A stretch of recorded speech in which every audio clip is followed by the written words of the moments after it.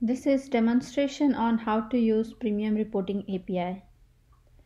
Once you are in Premium Reporting API forge.autodesk.com, you will find two links. The first one is the tutorials that has examples explained step by step. And for more technical details, navigate to API reference guide. Now going to the tutorials, there is usage query information as well as export usage information and before you begin using this API, you need to register an app as well as acquire access token. On navigating to these links, it will explain in detail, but for this demo, I will quickly walk you through. Once you have logged into forge.autodesk.com, you navigate to My Apps and you click on Create App. You provide the details and make sure you have selected Premium Reporting API.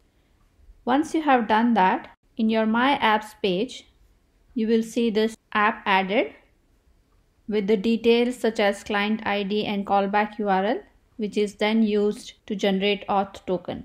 Now I'm using Postman but this step can be automated uh, to generate the access token. This is the auth URL and I'm using information from my app such as client ID and callback URL with the scope of data write to generate new access token. This access token can then be used to access all other APIs. Coming back to documentation, in the API reference, you can get details of how to use these APIs, such as what's in the request body, the parameters, the response, and the response body. Now for the post usage query API, in the request body, we can specify fields and metrics, and the documentation for that can be found here. This lists all the available fields and metrics along with any kind of limitations on their usage.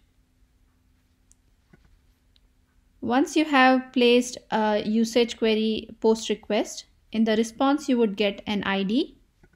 This is nothing but the query ID which can then be used with the get usage query by query ID API to get the result.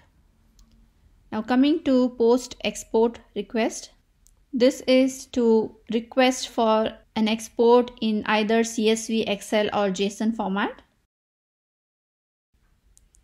And the available reports are subscriptions, users, usage, or you can request all. Again, in this case, the response will have an ID, which is the export ID that can be then used with the get exports by export ID to get the download URL uh, from where you can download the CSV, Excel or JSON, whatever you had requested for.